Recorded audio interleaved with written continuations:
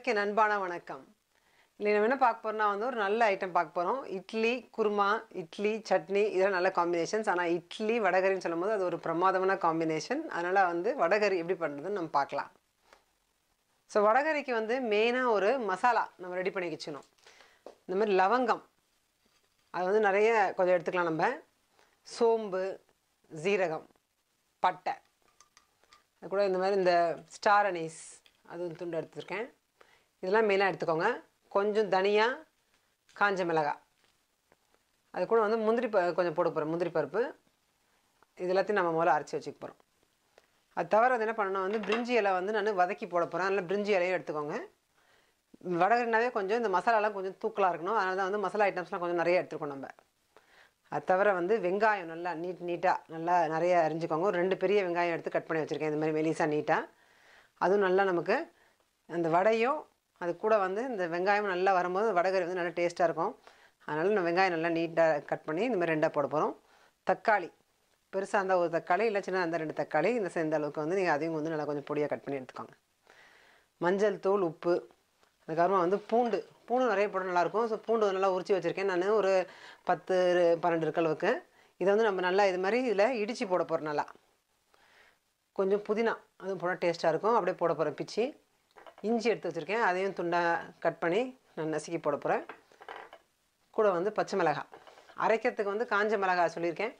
நம்ம வந்து கூட பச்சை மிளகாவும் போட்டால் நல்லா டேஸ்ட்டாக இருக்கும். அதனால் பச்சை மிளகாவும் இந்த மாதிரி ரெண்டாக கீரி ஒரு மூணு எடுத்து வச்சுக்கோங்க ஸோ மெயினாக வந்து நம்ம வடை பண்ண போகிறோம் அதனால் வந்து கடலைப்பருப்பு எடுத்திருக்கேன் நான். இந்த கிளாஸ் அளவுக்கு ஒரு கிளாஸ் கடலைப்பருப்பு எடுத்து நான் ஊற வச்சுருக்கேன். ஒரு டூ த்ரீ ஹவர்ஸ் நல்லா ஊறிடும் நல்லா பெருசாக அதனால் வந்து நம்ம இந்த மாதிரி நல்லா ஊறிருக்கு இப்போது இதில் தண்ணி வடிகட்டிட்டு இதை நம்ம அரைக்க போகிறோம் நார்மலாக வந்து வடைக்கு அரைக்கிற மாதிரி ஒரு ஸ்பூன் சோம்பு போட்டுட்டு ஒரு பச்சை மிளகாய் கூட போட்டு நான் இதை வந்து குறை குறைன்னு அரைச்சிக்க போகிறேன் இப்போது ஸோ வடைக்கு அரைக்கிற மாதிரி தான் நம்ம கொஞ்சம் பக்கோடா மாதிரி போட்டு போகிறோம் சோம்பு ஒரு கைப்பிடி போட்டிருக்கேன். ஸோ இதுலேருந்து ஒரு பச்சை மிளகாய் அதை வந்து ரெண்டாக பிச்சு போட்டிருக்கேன். அது கூட கடலைப்பருப்பு. கூட அரைக்கும் போதே கொஞ்சமாக இந்த வடைக்கு மட்டும் கொஞ்சம் உப்பு போட்டுக்கலாம். வடைனா நம்ம வடை மாதிரி போட போதில்லை பக்கோடா மாதிரி தான் போட போகிறோம் நம்ம. அதுக்கு கொஞ்சம் ஸ்பூன். இதை வந்து கொஞ்சமாக தண்ணி ஊற்றி அரைக்கணும். இல்லை முடிஞ்ச அளவுக்கு தண்ணியே இல்லாமல் அரைக்கணும் நம்ம. ஸோ தண்ணியே ஊற்றாமல் பல்ஸில் அப்படி இப்படி போட்டு கொஞ்ச நேரம் ஆட்டணும். இந்த மாதிரி குறை குறைன்னு எடுத்துருக்கோம். இப்படி பிடிச்சி பிடிச்சி சின்ன சின்னதாக நம்ம பக்கோடா மாதிரி தான் போட போகிறோம் ஸோ இந்த பாத்தில் எடுத்துக்கலாம்.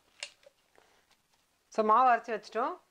இங்கே வந்து சின்ன கடாயில் வந்து கொஞ்சமாக எண்ணெய் ஊற்றி வச்சுருக்கேன். எண்ணெய் காயட்டும். அந்த டைமில் நம்ம என்ன பண்ண போகிறோம்னா வந்துட்டு இந்த ட்ரையாக இதெல்லாம் ஒரு பவுடராக அரைச்சிக்க போகிறோம் நம்ம. அதனால் சின்ன மிக்ஸி எடுத்திருக்கேன். ஸோ எல்லாத்தையும் போடுங்க. இதில் வந்துட்டு பட்டையெல்லாம் வந்து கொஞ்சம் உடச்சி போடுங்க. உங்களுக்கு ரெடிமேடாக வந்து சினமன் பவுடர் பட்டைத்தூள் கிடச்சினாலும் நீங்கள் அதையும் போடலாம். இல்லைன்னா நம்ம ஃப்ரெஷ் பட்டையே போட்டுக்கலாம் இதில். எல்லாம் ஃப்ரெஷ் மசாலாஸ் யூஸ் பண்ணுறது நல்லாயிருக்கும் இதில். உடச்சி போட்டிருக்கேன். இதையும் ரெண்டு மூணாக உடச்சிக்கோங்க அனீஸ் ஸ்டார் அனீஸும். மிளகா காஞ்ச மிளகா. கிள்ளி போட்டுக்கோங்க. இந்த கொஞ்சோண்டு கேஷ்யூ நட்ஸ் அது வந்து ஆப்ஷனல் தான். சும்மா கொஞ்சம் க்ரீமியாக இருக்கட்டுமேன்னு போட்டிருக்கேன் இப்போவே. எல்லாத்தையும் மொத்தமாக போட்டு அரைச்சிக்கலாம்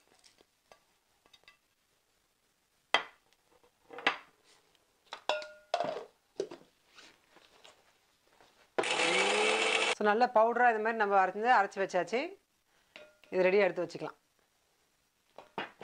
பூண்டு வந்து நான் இந்த பூண்டு பே இஞ்சி பூண்டு பேஸ்ட்டாக போடாமல் நல்லா ஃப்ரெஷ் பூண்டே வந்து இடித்து வச்சுக்க போகிறேன் இந்த மாதிரி நான் இதில் இப்போ இடித்து வச்சுருக்கேன் நல்லா. அப்போ தான் நல்லாயிருக்கும். அது போட்டுக்கலாம். கூடவே வந்து பூண்டு பண்ண மாதிரி இஞ்சியும் வந்து நம்ம நசுக்கி வச்சுக்கலாம். இஞ்சி கொஞ்சம் சின்ன துண்டாக கட் பண்ணி அதிலே போட்டு நசிக்க போகிறேன் இந்த சைஸ் துண்டுக்கு. சரி இப்போ என்ன நல்லா காஞ்சிச்சு அதனால் வந்து நம்ம சின்ன சின்ன பீஸாக இந்த மாதிரி குட்டி குட்டியாக போட்டுக்கோங்க. நம்ம நார்மலாக பக்கோடாக்கு வந்து நல்லா மொறு மொறுன்னு போடுவோம். இதுக்கு வந்து நம்ம அவ்வளோ மொறு மொறுன்னு பண்ண வேண்டாம். கொஞ்சம் வெந்ததுக்கப்புறமாவே நம்ம எடுத்துடலாம். நம்ம சாஃப்டாக குழம்புல தான் போட போகிறோம் அதனால் மொறு மொறுன்னு இருக்க வேண்டாம்.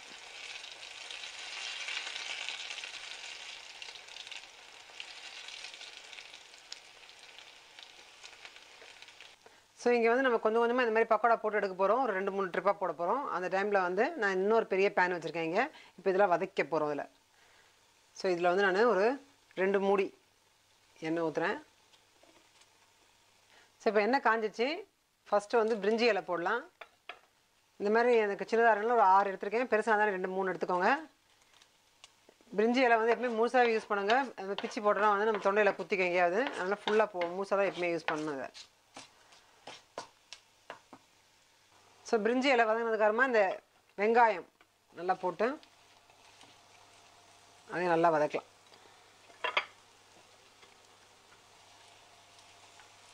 ஸோ வெங்காயம் நல்லா வதங்கணும் அதுக்குள்ளே வந்து நம்ம என்ன பண்ணலாம்னா இந்த பக்கோடாவை எடுத்துகிட்டு அடுத்த ட்ரிப் போட்டுக்கலாம் இது பார்த்தீங்கன்னா நான் நல்லா மொறு மொறுன்னு பண்ணல பட் நல்லா வெந்துடுச்சு ஓரளவுக்கு அதனால் மஞ்சளாக தான் இருக்கு நல்லா டார்க்காக ப்ரௌனாக அது மாதிரி ஆக வேண்டாம்.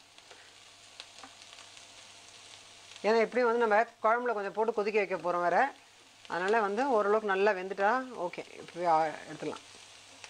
ஸோ இப்போ அடுத்த ட்ரிப் போட போகிறேன் இந்த மாதிரி கொஞ்சம் நிறைய மாவு எடுத்துகிட்டு இப்படி இப்படி கொஞ்சம் கொஞ்சமாக போட்டுக்கோங்க.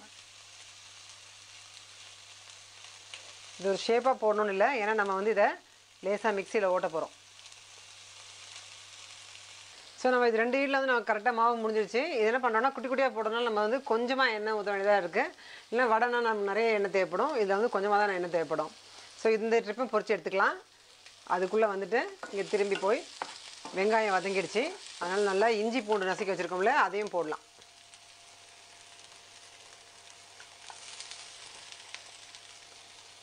இதில் வந்து நிறைய இஞ்சி பூண்டு மசாலா ஐட்டம்ஸ் எல்லாமே கொஞ்சம் தூக்கலாக இருந்தால் நல்லாயிருக்கும் வடகரிக்கு.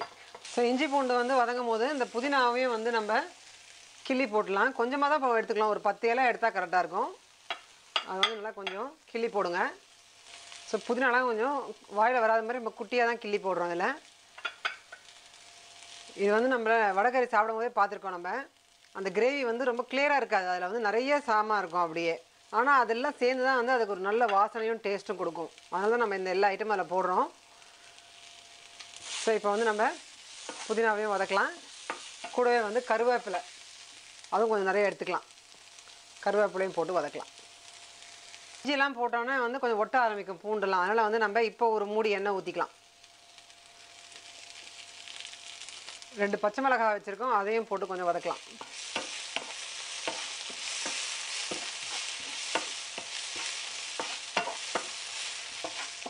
ஸோ இப்போ இது கூட வந்து நம்ம ஏற்கனவே அரைச்சி வச்சுருக்கோம்ல அந்த பொடி அதை ஃபுல்லாக போட்டுடலாம். ஏன்னா நம்ம முதல்ல வதக்காமல் தான் அரைச்சிருக்கோம். அதனால் இப்போ வந்து கொஞ்சம் வதங்கணும் அந்த மசாலாலாம். அதனால் அது எல்லாத்தையும் போட்டு கொஞ்சம் நல்லா வதக்குங்க.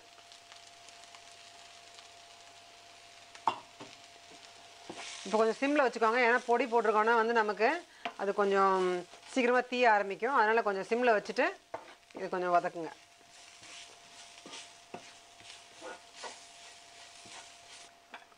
அப்படியே வந்து மஞ்சள் தூள். சின்ன ஸ்பூனில் ஒரு ஹாஃப் ஸ்பூன் போடுறேன். ஸோ இப்போ பொடியெல்லாம் கொஞ்சம் வதங்கினதுக்கப்புறமா தக்காளி அதையும் வந்து நம்ம போட்டு லாஸ்ட்டாக அதையும் வதக்கிடலாம்.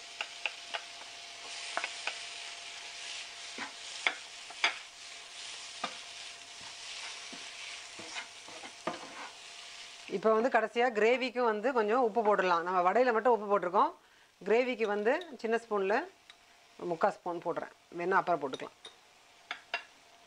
ஸோ இந்த மசாலாலாம் கொஞ்சம் வேகட்டும். நம்ம என்ன பண்ண போகிறோம்னா வந்துட்டு வெறும் கொஞ்சமாக தான் தண்ணி ஊற்ற போகிறோம் ஸோ இந்த அரை கிளாஸ் தான் தண்ணி ஊற்ற போகிறோம் இதை வந்து நான் அப்படியே இதில் கொஞ்சம் கழுவி ஊற்ற போகிறேன்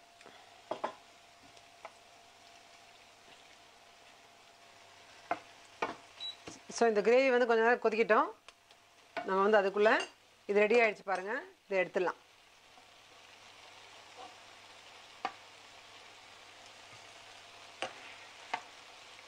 ஸோ இப்போ வந்து நம்ம இது எல்லாத்தையும் ஒரு மிக்சியில் வந்து நம்ம ஒரு வாட்டி ஓட்டி எடுத்து போகிறோம் அப்போ தான் வந்து அது ஒன்றா சேர்ந்து வரும். எல்லாம் தனித்தனியாக இருக்கும். வந்து இப்போது பொரிச்சு வச்சுருக்கிறதுல வந்துட்டு கொஞ்சம் தண்ணி ஊற்ற போகிறோம் அதை கிரேவி பண்ணுறதுக்கு அது மட்டும் இல்லாமல் இது நல்லா மைய அரையிறதுக்காக.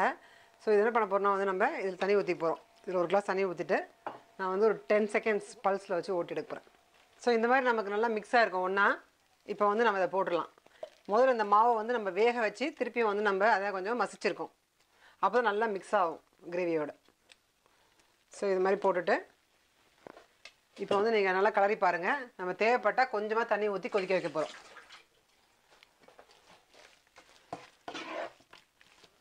வடகரில் வந்து முதலே வந்து நம்ம நிறைய தண்ணி ஊற்றிடக்கூடாது அது ஒரு நல்ல திக் கிரேவியாக தான் நமக்கு வரணும்.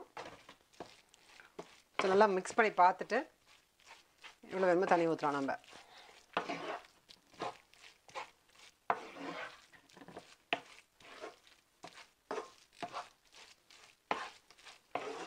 ஸோ இப்போ நல்லா மிக்ஸ் பண்ணியாச்சு. நமக்கு வந்து தண்ணியே தேவைப்படாது. இது ஏற்கனவே நல்லா வந்து வெந்திருக்கு ஏற்கனவே. இந்த மாதிரி கொஞ்சம் ஓரளவுக்கு ட்ரையாக எடுத்தால் தான் நல்லாயிருக்கும் நமக்கு. இட்லிக்கும் தொட்டுக்கலாம். ஸோ இப்போ நல்லா மிக்ஸ் பண்ணியாச்சு. இப்போ பாருங்கள் நமக்கு தண்ணி எதுவும் தேவைப்படல. உங்களுக்கு தேவைப்பட்டால் லேசாக நீங்கள் தண்ணி தெளிக்கலாம் கொஞ்சமாக இப்போ வந்து நல்லா ரெடி ஆயிடுச்சு. இதை நம்ம வந்து ஒரு பாத்தில் ட்ரான்ஸ்ஃபர் பண்ண போகிறோம் இப்போ வடகரி பண்ணி வச்சுட்டு லேசாக சிம்மில் விட்டுட்டு நான் அப்படியே பக்கத்தில் நல்லா சூடாக இட்லி போட்டு எடுத்திருக்கேன். இப்போ வந்து இட்லியோட நான் வடகரி என்ஜாய் பண்ண போகிறேன் வடகரி வந்து நான் ஒரு பாத்தில் ட்ரான்ஸ்ஃபர் பண்ணி வச்சுருப்பேன் இப்போது இது பார்த்தீங்கன்னா நல்லா க்ளோஸ்அப்பில் கொஞ்சம் இந்த வ- பருப்பு அது கூட வந்து கருவேப்பிலை நல்ல பச்சை மிளகாய் இஞ்சி வெங்காயம் அது கூட இந்த பிரிஞ்சி இலை எல்லாம் சேர்ந்து வந்து நல்ல ஒரு டேஸ்ட் அது கொடுக்கும். இது ட்ரையாக இருந்தாலும் நமக்கு வந்து இட்லிக்கு அது கூட அப்படியே எடுத்து சாப்பிட நல்லா டேஸ்ட்டாக இருக்கும். அதனால் இது மாதிரி ட்ரையாகவே நீங்கள் பண்ணிக்கோங்க. ஸோ நல்ல ஒரு வடகரை ரெடி ஆகிடுச்சு நமக்கு. இட்லியோட நான் சர்வ் பண்ணியிருக்கேன் ஸோ இங்கே நாங்கள் என்ஜாய் பண்ண போகிறோம் நீங்களும் வந்து சீக்கிரமாகவே ட்ரை பண்ணி பார்த்துட்டு நீங்களும் என்ஜாய் பண்ணுங்கள் உங்கள் கமெண்ட்ஸ் போஸ்ட் பண்ணுங்கள் தேங்க்ஸ்